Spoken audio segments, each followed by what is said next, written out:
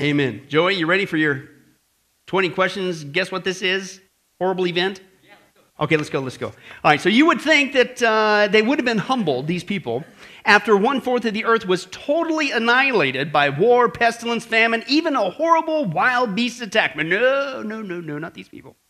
Then you would uh, expect at least a small change of direction uh, when the earth was totally burned up, the oceans were totally destroyed. But no, Joey, not these people, no, sorry. In fact, even after another one third of the earth's population was totally annihilated and a horde of demons was sent to torture them again and again and again and again for several months, they still wouldn't turn. In fact, it got so bad that these proud, arrogant, foolish people decided to do one of the dumbest things ever. They decided to actually take on God. Can you believe that? Okay? The kings of the earth, the armies that were still left alive after all this annihilation, actually gathered their forces together to take one last stand against God. So they pointed their guns, they aimed their weapons, and they stood in total defiance when all of a sudden the Lamb of God ripped open the sky and millions of angels were unleashed upon these rebels. In fact, it was no battle at all. It was actually a bloodbath. The wrath of God had totally been poured out. Their defeat was utterly swift. The leaders of this uh, rebellion were actually thrown alive into the lake of fire, and the rest of them were squashed and popped like giant grapes in a wine press. Wow. In fact, the slaughter was so great that their blood flowed as high as four feet deep for nearly 200 miles. How many guys would say trying to take on God's not a good thing to do? Hello. Okay, the book is Revelation, and of course, the judgment is the Battle of Armageddon. Wow, that's really going to happen. It, it, even mentions that language there. They were squashed. People were squashed like a grape. And blood flowed everywhere. Now, obviously, with the Battle of Armageddon, if you, we're familiar with it, hopefully, uh, you obviously get the picture that God is in heaven, and when these people rebel against him, he's just up there wringing his hand, going, Oh no, I hope they stop. I don't really like this.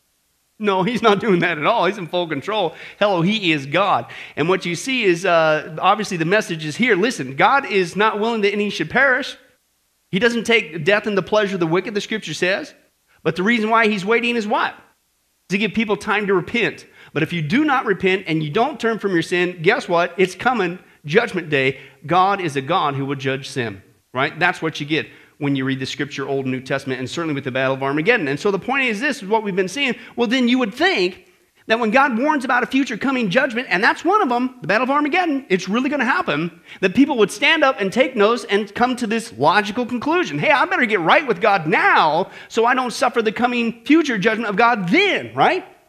Now, what's the problem?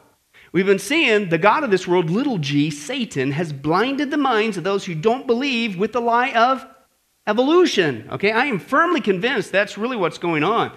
And so people in our world today not only have a hard time believing that there is a God, but even if they want to flirt with the idea, so to speak, that there is a God, one thing they absolutely refuse to believe in is that God is a God who will judge.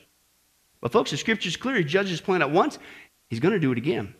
And if a person's not saved, you better get saved right now. And therefore, we're going to hopefully help these people and get equipped. Okay, and we're going to continue our study, the witness of creation. And what we're doing is taking a look at different evidences that God's left behind for us, showing He's not just real. That's great news. Praise God.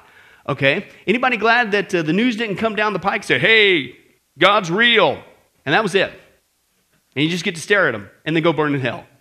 Anybody glad that there's more to it than that? Yeah, the message is he's not just real, it's that we really can have a beautiful, loving, intimate, personal relationship through Jesus Christ with him right now. Isn't that awesome? And of course, escape his judgment in hell, okay? And he's shown us that different ways. And of course, that first evidence was the evidence of an intelligent creation, intelligent design. The second one was the evidence of a young creation. We have not been here for millions and billions of years. The third evidence was the evidence of a special creation. We did not come from an ape. Anybody glad about that? Praise God. We might act like an ape, but you didn't come from an ape, okay? We came from Adam okay, is the point there. Uh, evolution, all their mechanisms is a bunch of baloney. And the last seven times we saw the fourth evidence is the evidence of a judge creation. And what we've been looking at is there really was a worldwide flood, i.e., what's that all, what's that translate into? There really was a time when God judged this whole planet because of sin. And we've been seeing, we've been doing our homework. We don't believe that as Christians just because the Bible says so. Not that that's bad. Okay, but we live in a skeptical society. So we did our homework. We've been seeing the last two times was the evidence of a gargantuan boat says so.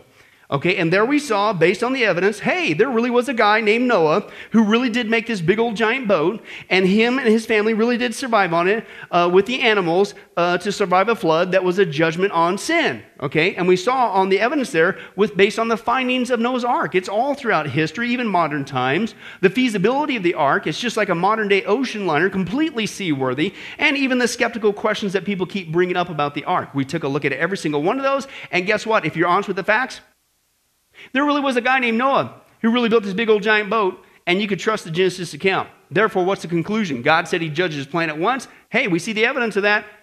You better pay attention. He's going to do it again. And if you're not saved, you better get saved. And Christian, if you got loved ones, co-workers, neighbors, those divine appointments, the guy at the gas station you keep running into, that's not by chance. God wants you to witness to him because it's only going to be coming from us. The seventh evidence of a judge creation is the evidence of a glorious civilization. I couldn't wait to start pointing this out because, once again, I know this is going to come as a surprise. Did you know that evolution is a lie? and one of the whole premises of evolution, even in recent history, you don't even have to go back millions and millions of years, okay, is they give you and I the impression that the further you go back in mankind's history, mankind was dumber, right?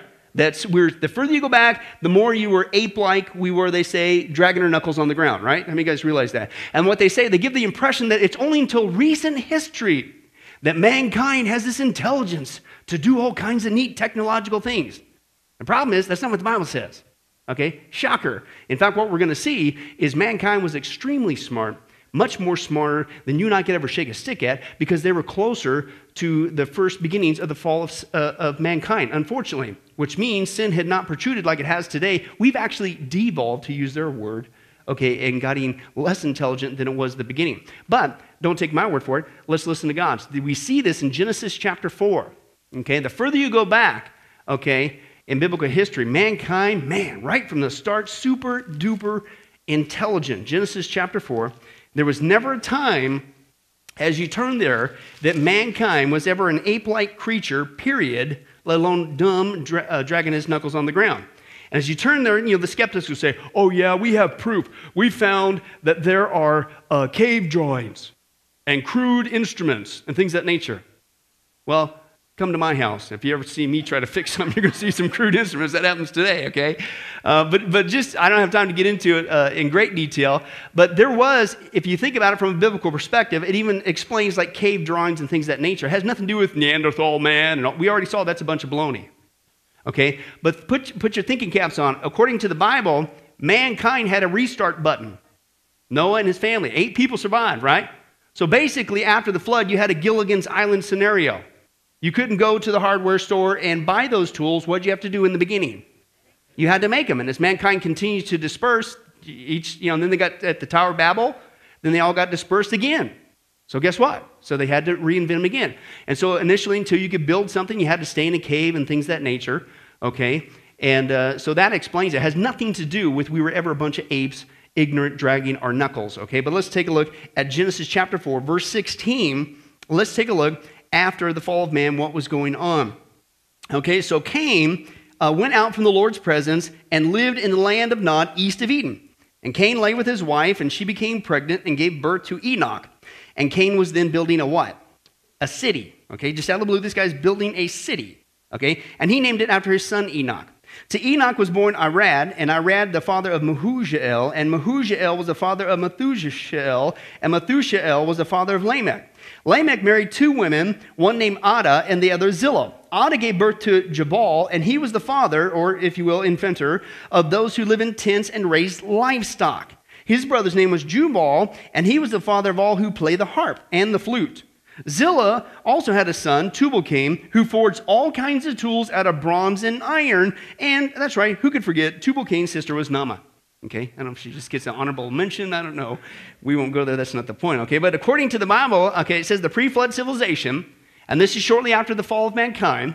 Okay, mankind gets banished out of the garden, and certainly Cain got banished for what he did, killing Abel. Okay, but what you see there is this is not a picture of some dumb ape-like creatures dragging their knuckles on the ground, ooh ooh uh, uh, ooh ooh, and sitting there saying, "Hey Bob, I hope you you know hurry up and vent fire. I'm very cold." When's the wheel thing coming along? I'm getting tired of carrying all these Brontosaurus burgers, right?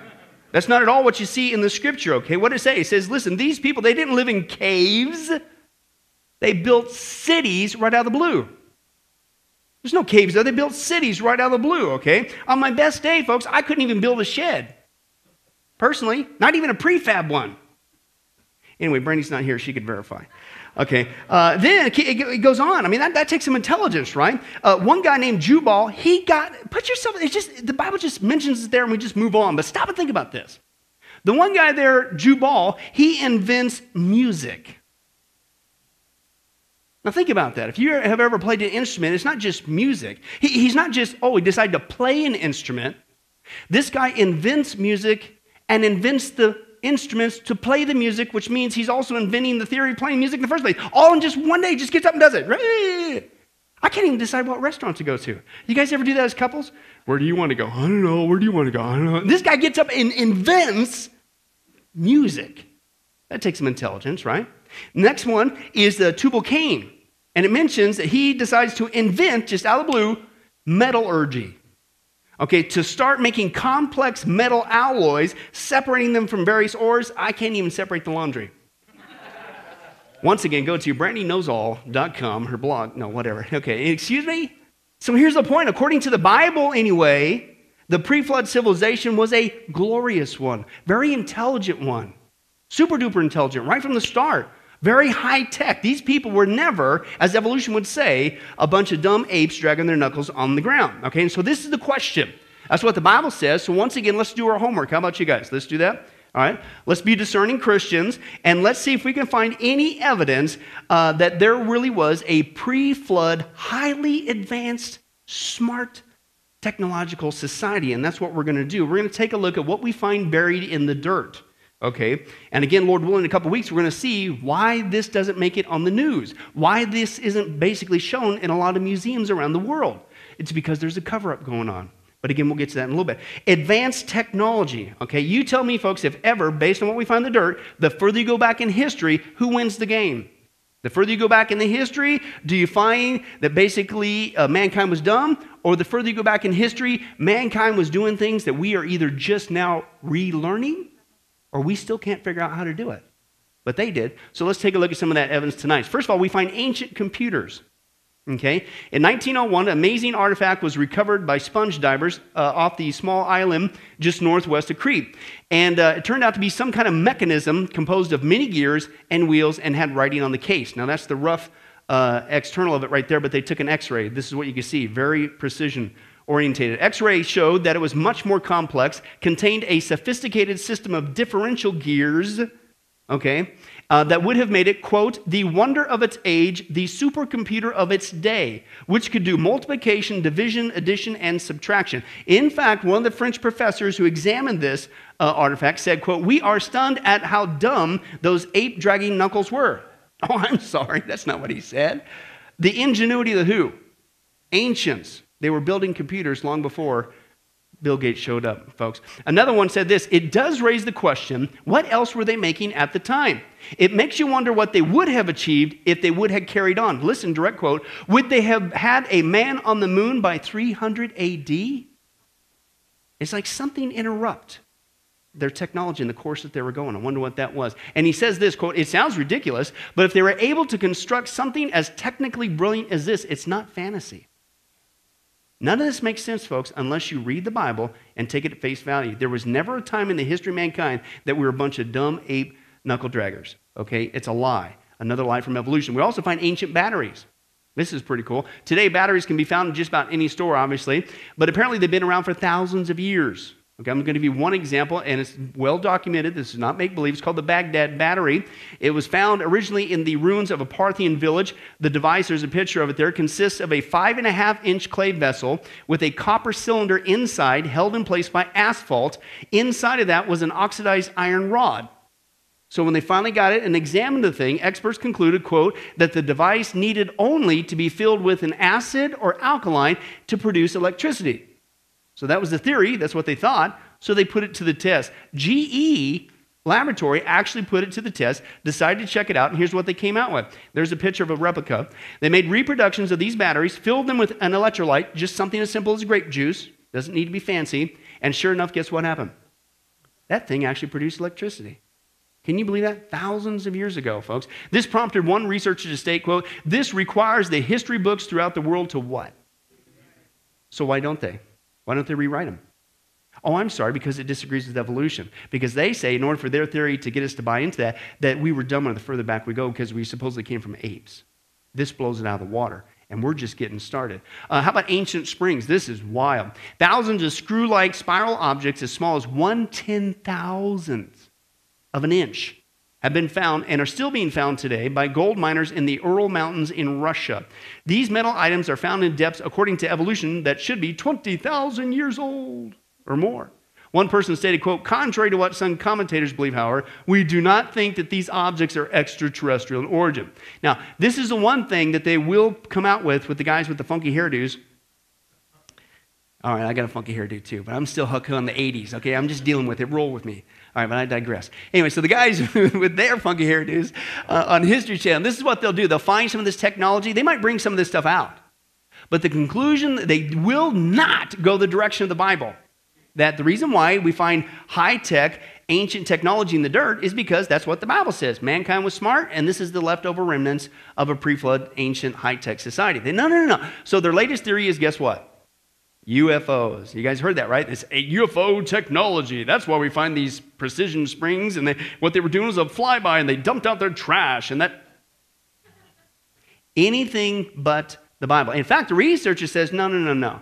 This is the researchers, not me. They said this did not come from outer space. They said this is very terrestrial. In other words, it came from here, not from outside. And it's the vestiges of a former high tech civilization, the evidence of which will become increasing apparent over the coming years.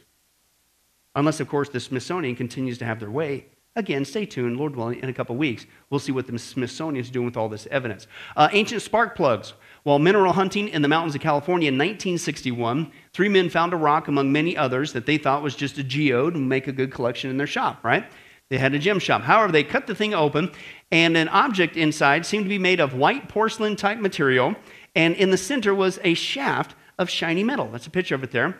The problem uh, the porcelain um, material was surrounded by a hexagonal casing, and later an x ray revealed a tiny spring at the end, like a modern day spark plug. Not necessarily saying it was, but it was, wow, that's kind of like a spark plug. The question is, how in the world could a spark plug like object get inside a supposed, according to evolution, 500,000 year old rock? Uh, it can't on a, bunch of different levels. Okay, but ancient airplanes. Okay, well, wait a second. Let's put all this together. If the ancient world could come up with ancient computers and ancient batteries and ancient springs and ancient spark plugs, maybe they can come up with ancient airplanes. Was the Wright brothers the first one to discover flight? I don't know. Maybe they could do a lot of things that has been covered up from us for a long time now. Might explain what you see here. Let's take a look at this. In 1965, deep in the dense Colombian rainforest, a team of explorers made an intriguing discovery. Almost a thousand years ago, an ancient people known as the Quimbaya forged these beautiful brooches from gold and copper alloy. At first glance, they appear to be the models of small winged insects, but a second look reveals that there is something highly unusual about these objects. Their design carries anomalies found in no air-breathing creatures in the natural world. As we investigate further, we discover new, unexplained puzzles in the model's design. While all insects have their wings located on the top of their body, this ancient brooch has them at the bottom, a feature found only in modern jet aeroplanes. But there's more. Just like these jets, the brooches have delta-shaped wings. There is a rudder clearly shown, and, quite astonishingly, ailerons. All of these features are found on modern aircraft like the Space Shuttle. This golden model has thus left a fascinating mystery. Could this be a model of an aircraft that actually existed? By constructing a 16 to 1 scale model of the artifact, he planned to unravel whether this stunning brooch was more like an insect or a supersonic modern aeroplane.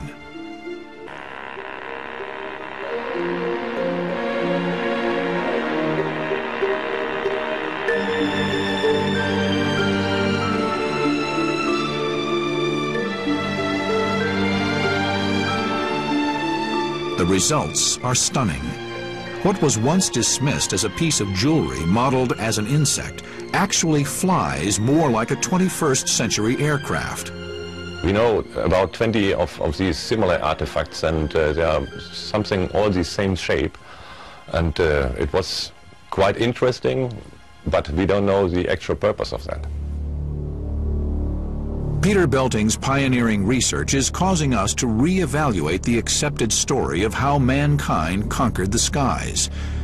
But the true origins of the oldest flying machine may yet prove to be even earlier.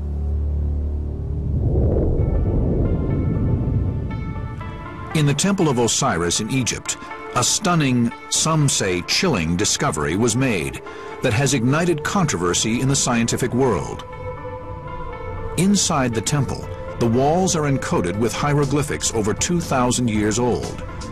Cut with incredible precision into the ancient rock, these images record the secrets of how generations of pharaohs lived and died.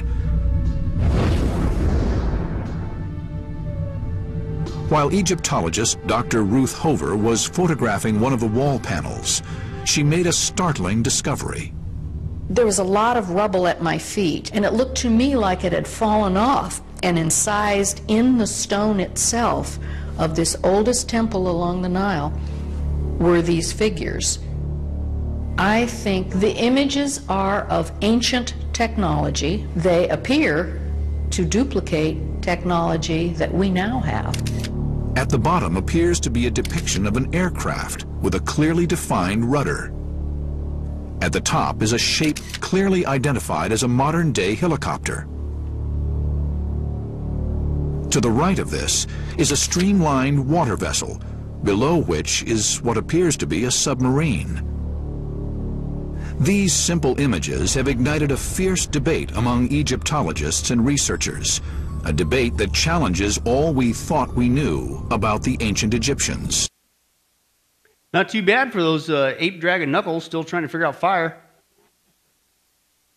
Folks, I don't know, you know, whatever, but the only way to explain this is you have to go back to the scripture. Right? Whether that's actual a helicopter or actual whatever, the technology that we find agrees with the scripture. The further back you go, the much more smarter mankind was. We're only rediscovering things uh, today, okay? But let's continue on. Hey, uh, if you're going to fly around an ancient world in an airplane, possibly, then you probably need a map. How many guys would agree? And how many guys would agree, if you're paying attention to that picture, those guys are doing the wrong thing at the wrong time? I know you want to smile for that picture, but turn around. Okay, but anyway, let's take a look. Uh, well, that's actually what we find. Scientists have actually discovered uh, a 3D aerial relief map on a giant slab of rock uh, it's become, quote, indisputable proof of an ancient high tech civilization. This map is a real relief map, just like today's modern military would use. It contains civil engineering works. This is a picture right here. Uh, a system of channels with uh, a length of about 7,500 miles. Okay? How, how wide is the United States? About 2,500? Something like that? Close to it? 2,000, 25, 22, something like that? Yeah. Interesting. So 7,500 miles. It also has many different sizes of dams, some of which are over six miles long, almost two miles deep. And far from the channels are uh, uh, diamond shaped grounds whose destination is unknown, like it's a city or something you can go to. Then they found numerous inscriptions at first they thought was an old Chinese language, but it turned out to be a hieroglyphic syllabic language of some unknown origin. They can't figure it out at this point. And the more map it was studied, I love what this guy said. One professor stated, quote, the more I learn, the more I understand I know nothing. And it will continue to make no sense if you believe in evolution. But if you read the scripture, it's like, oh, wow, those guys were pretty smart. Uh, back in the pre-flood society, and that's because the longer it was studied, the more mysteries appeared on this thing. In order uh, uh, to create the giant irrigation system that was on this map, uh, they calculated that the people had to move one quadrillion meters, cubic meters of earth Okay? And this prompted one researcher to state it makes anything that modern man has accomplished look like a mere scratch. We can only build a small portion of what's on this map. Interesting, okay? And oh, by the way, according to evolution, this map should be about 120 million years old. I don't think so, on a whole bunch of different levels. And ancient columns, okay? See that guy down there? Look at how big that stonework is. Huge, massive. Stone columns of unbelievable size. They find them all over the world. Uh, rivals anything that we modern man could hope to even come close to achieving. One such column is this guy right here. It's called the monolith. It weighs over 2 million pounds. Now, by comparison, uh, the stones used in the Great Pyramid weighed only 400,000 pounds. And we're still trying to figure out how in the world they move those things. This thing is 2 million pounds. And do you see the guy down there? For scale? Absolutely huge. One person stated this forget the ancient airplanes, the ancient helicopters, and the world maps. This alone of these gigantic stones, okay, obviously made by man, should set the standard, uh, straight the standard line of primitive man to advanced man and then to civilization's scientific dogma on its ear. In other words, what he's saying? These finds right here, if you, if you ignore everything else, blows the live evolution out of the water. There was never a time, the further you go back, that mankind was dumb. That's what he's saying. These are the guys that examine this stuff. Therefore, uh, there is no way the stone can be explained by the science and history that they teach us in school. He said there are no historical records, although, here's something interesting. The local folks there think it's part of the remains of a pre flood city that was originally built by Cain after his banishment. Where did I read that before? Genesis chapter 4. But hey, you know those locals, they just live there. What do they know? They haven't been taught evolution, they don't know better. Folks, I don't know about you, but you start looking at the facts, and again, it doesn't take all those, and that's not all of them, okay? I don't have time to get into all the, all the stuff, but uh, it looks like the further you go back, um, it agrees with the biblical account. Mankind was incredibly smart, and there was never a time uh, when we were dragging our knuckles on the ground, right? Evolution is a lie. The second evidence that we really did have a highly advanced pre flood, ancient, high tech civilization is from ancient artifacts, okay? We just saw some of their technology, and that's not all, that's just some of it. Uh, now we're going to take a look at their artifacts. And let's go back to our scoffing passage and let's re-examine that. 2 Peter chapter 3, verse 3 through 6 says this. First of all, you must understand that when is this going to happen? In the last days, our generation. What's going to come on the planet? Scoffers, okay? And what they're going to do is they're going to follow the hard facts of science. Oh, no, no, no. It's all about their evil desires. They don't want there to be a God. Okay? And here's what they're going to say where is this coming he promised? Ever since our fathers died, everything goes on as it has since the beginning of creation. Why, you guys keep telling me about Jesus. He's coming back. He's going to judge this planet. We don't see anything different. Sounds familiar? Last day society. Okay? But they deliberately forget. What's that mean? With all due respect, dumb on purpose, right? But what are they being dumb on purpose about? That long ago, by God's word, the heavens existed and the earth was formed out of water and by water. And by these waters, the world of that time was what? Deluged and destroyed. Okay? And we've seen this passage before, but I want to uh, tear it apart, uh, dealing now with our context. The Bible clearly says that in the last days, scoffers aren't going to come. They're not just going to come, and they're not just going to mock at the return of Jesus Christ. He says they would be willingly ignorant of the fact he defined it here that there used to be a world in the past that does not exist today and was destroyed by a flood, right? So he didn't just say they were going to be willingly ignorant. He said they're going to be willingly ignorant that there was a world in the past that used to exist, doesn't exist today because it was destroyed by a flood, okay? Now, stop and think about it. In order, let's flip it around. Let's explore this a little bit more. In order for these people to be willingly ignorant, right? It didn't say just ignorant. They were willingly ignorant. They did this on purpose. In order for you to meet the criteria of being willingly ignorant of information, that implies then there has to be a lot of information around you that shows that this event really happened, and yet you are still choosing to deny it, right? Isn't that logical based on that text? And so let's put that to the test. Do we find any evidence that there really was a pre flood society that got wiped out uh, by a flood. And of course, if there was, you would think that we would find some of their artifacts, you know, pieces of their civilization somewhere, right? Exactly, and we do, and that's what we're going to see, okay? In fact, what we find is these artifacts oftentimes are buried not just in the dirt, they're buried in coal, which was formed at the flood, by the way, not hundreds of millions of years ago. Let's take a look at that evidence. Coal appears in vast deposits scattered over the continents. It is typically thought that such deposits require many thousands to millions of years to form. 10 feet of plant material is needed to make one foot of coal. evolutionary geologists teach that most coal deposits are basically a result of peat building up in swamps over millions of years. And since peat accumulates very slowly in modern swamps, long periods of accumulation would be required at modern rates. But forming coal this way has problems. For example, the top and bottom of coal seams are usually flat, and thin layers of mud are often found within coal seams. In the present world, however, roots of plants in the swamp break up the peat layers and mess up any mud layers which might form. Tree trunks, especially, penetrate the swamp peat, making it very uneven. Apparently, no modern process can explain how coal originated. The flood of the Bible, however, may provide an explanation. In the course of the flood, weeks of unceasing rains eroded away soil and plants, and rising seas and tidal waves destroyed the forests of the world. Some plants would be buried in place, some would be ground up and destroyed.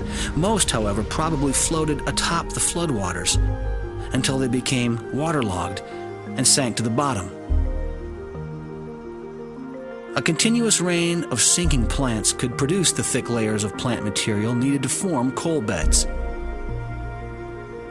Undisturbed by growing plants, such layers would have flat lower and upper surfaces, and in between could be undisturbed layers of mud. Bark rubbing off logs would explain coals made of bark. And vertical trees sinking would explain stumps sitting atop coal layers without penetrating them. Both have been observed at Mount St. Helens. The flood provides an explanation for the origin of coal, consistent with an Earth only thousands of years old. The enormous coal reserves on our planet are a reminder and tribute to a beautiful and bountiful world now lost.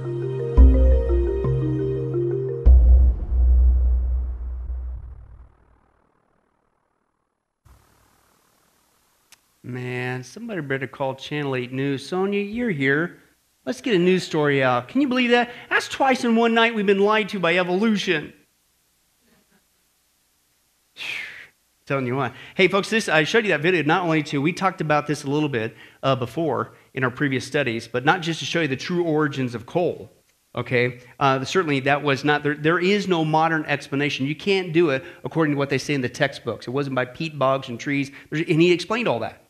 Only again the flood uh, explains why we have the massive amounts of coal seams uh, around the world. Okay, but here's my point in bringing it up tonight. Okay, if coal was really formed at the time of the flood, like the evidence seems to suggest, right?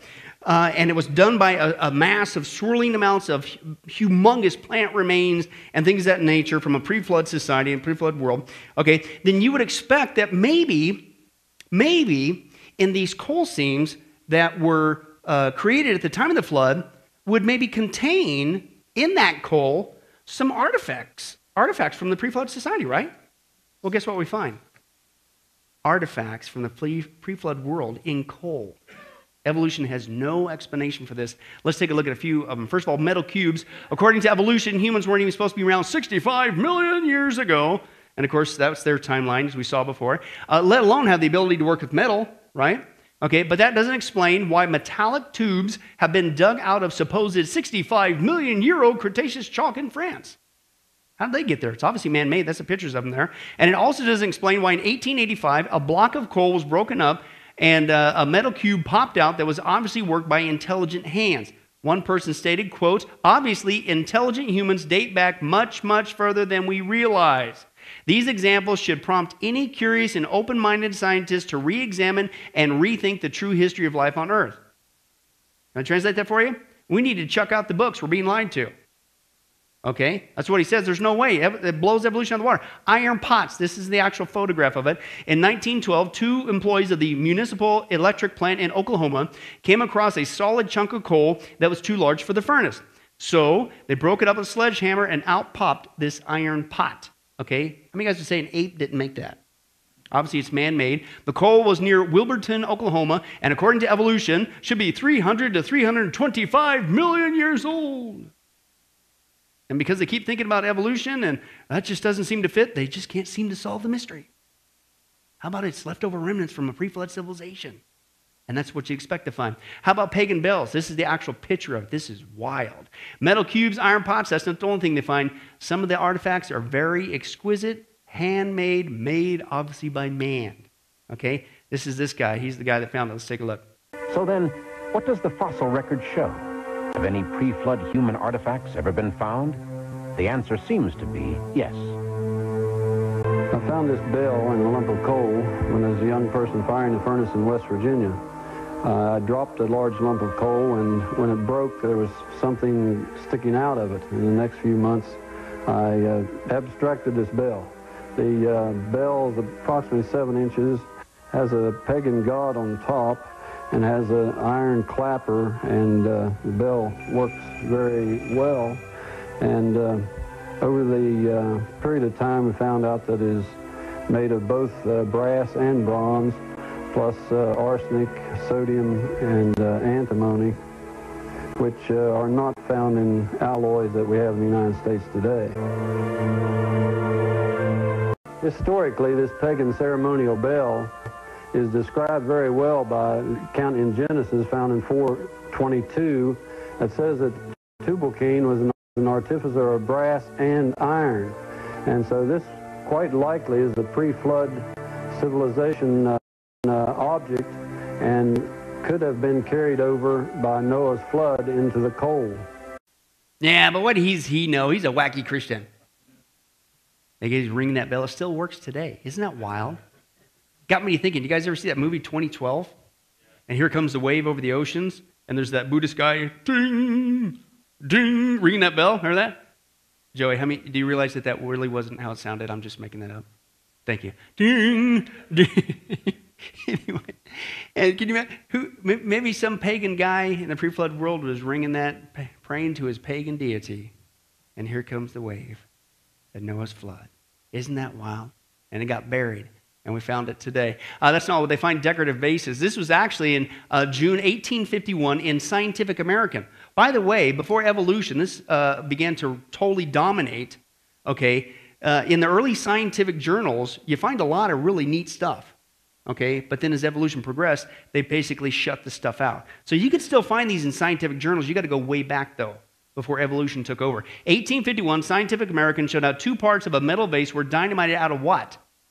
Solid rock. How to get in solid rock. Okay, 15 feet below the surface of Massachusetts. This is a picture of it right here. When the two parts were put together, they formed a bell shaped base that was four and a half inches high, six and a half inches at the base, two and a half inches at the top, and an eighth inch thick. Uh, the metal was composed of an alloy of zinc and a large portion of silver. On the sides were six flower bouquets inlaid with pure silver, and around the lower part uh, was a vine or wreath also inlaid with silver. Uh, in fact, one person said, quote, the chasing, carving, and inlaying are exquisitely done by some unknown craftsman. Maybe it was Noah's neighbor. Should have listened to Noah. Okay? Uh, by the way, according to evolution, the rock that this was taken from is supposed to be 100,000 years old. How many guys are saying this is messing up evolution on a whole multitude of levels? Right? Big time. Uh, one more. Uh, gold jewelry. On June 9, 1891, Mrs. Culp of Morrisonville, Illinois, was shoveling coal into her kitchen stove when a large lump broke in two and out popped a gold chain from the center. The chain was about 10 inches long, made of 8 karat gold, and was uh, being described as, quote, of antique workmanship. The investigators were convinced the chain had not been accidentally dropped into the coal because one portion of the coal was still clinging to the chain. So it came out of the coal. And the part of it still had separated from it bore the impression in the coal of where the chain had been encased. The problem is, according to evolution, this piece of coal should be about 300 million years old. And that makes sense because we all know, you know, earlier mankind was, you know, uh, the bling has been around for all kind, you know, knuckle dragon, yeah, but at least they had the bling going. You know what I'm saying? That makes total sense to me.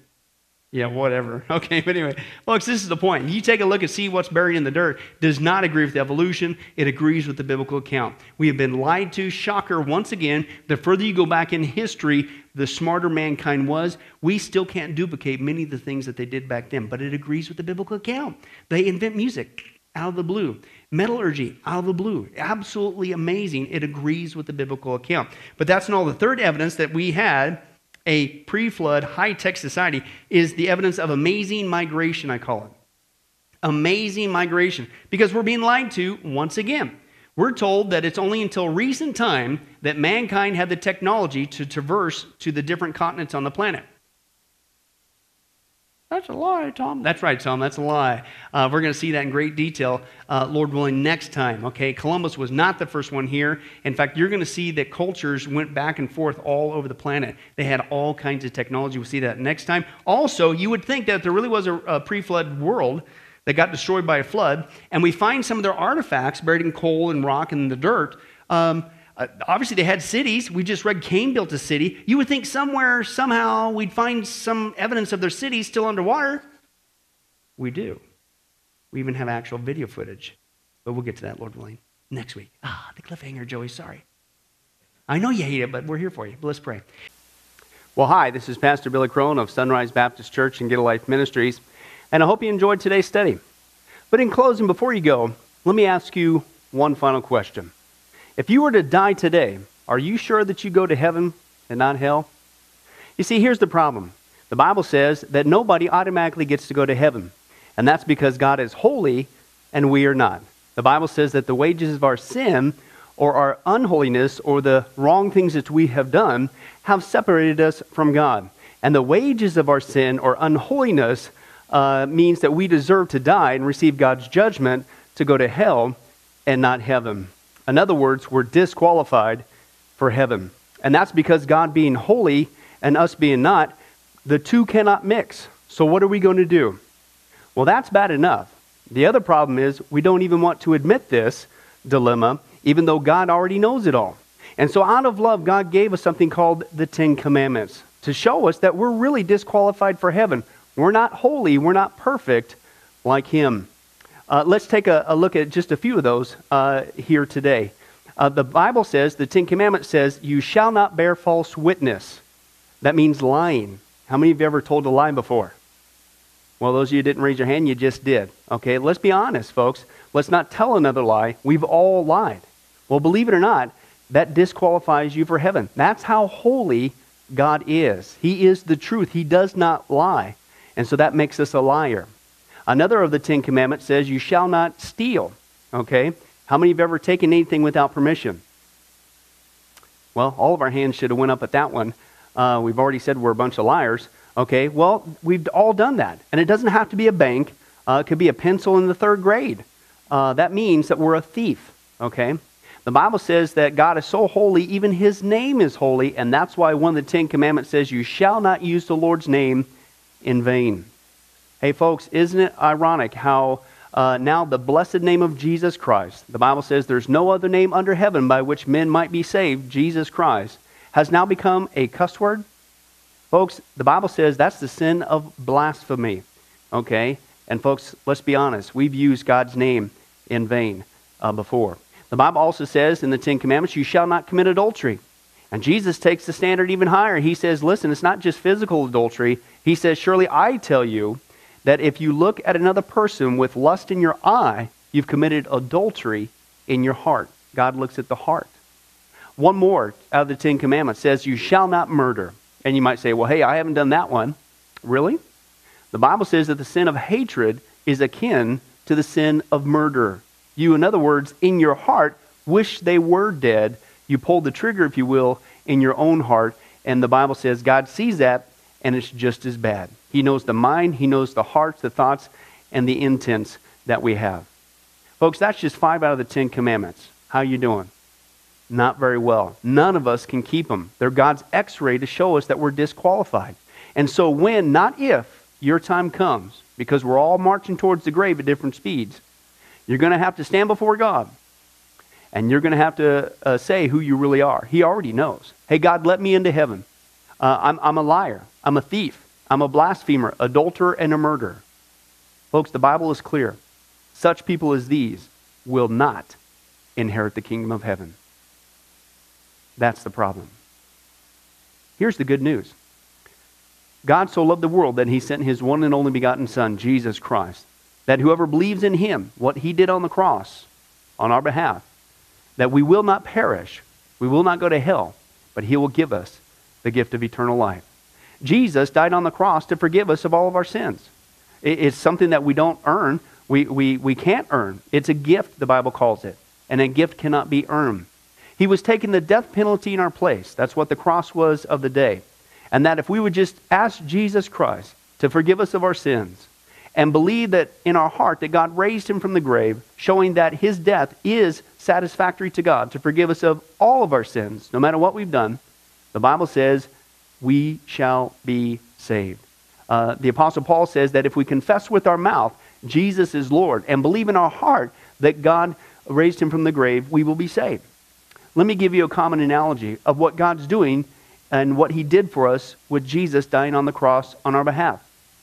Uh, in life, we know that people uh, can be sentenced for a crime uh, to where they're actually on death row. Uh, the courtroom scene has completely finished. The gavel has already sounded. Uh, they are going to jail and they're just awaiting their time before they go to the death penalty. Uh, as they're sitting there in the jail cell, uh, it, it's a proven fact they did what they did. Everybody knows it. They're just waiting for that time for their uh, number to come up, so to speak, and walk down that hall and be executed. Uh, there's nothing they could do to reverse their crime. No amount of good works in that jail cell can reverse what they've done. It's too late. It's over. But believe it or not, there's one way that people even today can get off a death row. And that's if the one in authority, the governor, if he were to, out of mercy and kindness, nothing that the person did, because they don't earn it and they don't deserve it, and they can't earn it, if he would grant them what's called a pardon, out of the kindness of his heart, he has the authority to grant them a pardon and absolve them completely of their crimes uh, against the state. And did you know that there's actually been people that this has happened to, that the governor, out of mercy, has granted them a pardon as a gift, and they've gone down to the jail cell and handed that person, extended it through the bars, here, I'm granting you a pardon. If you would just receive it, you can go free right now. And did you know that there's actually been people who've said, No, I don't want your pardon? And so what happened is of their own doing, even though they had a way out, they still had to go to the death penalty. Folks, can I tell you something? That's what God did for us with Jesus dying on the cross. He sent his son to take the death penalty in our place. He, God, has the authority to grant us through Jesus a complete pardon. And every day that you're still alive, God is extending to you spiritually this pardon. But a pardon does you no good unless you reach out and receive it by faith. Won't you do that today? Won't you call upon the name of Jesus Christ? Ask Him to forgive you of all of your sins, to trust in His work on the cross to pardon us from all of our crimes, our sins against God. God loves you. He wants a relationship with you. But there's only one way to heaven it's Jesus. There's only one way to get off a death row it's through the cross of Jesus Christ. Won't you do that right now? Well, this has been Pastor Billy Crone of Sunrise Baptist Church and, and Get a Life Ministries. And if there's anything that we can do for you, uh, please don't hesitate uh, to contact us. Uh, our number, our information will uh, come up here on the screen shortly.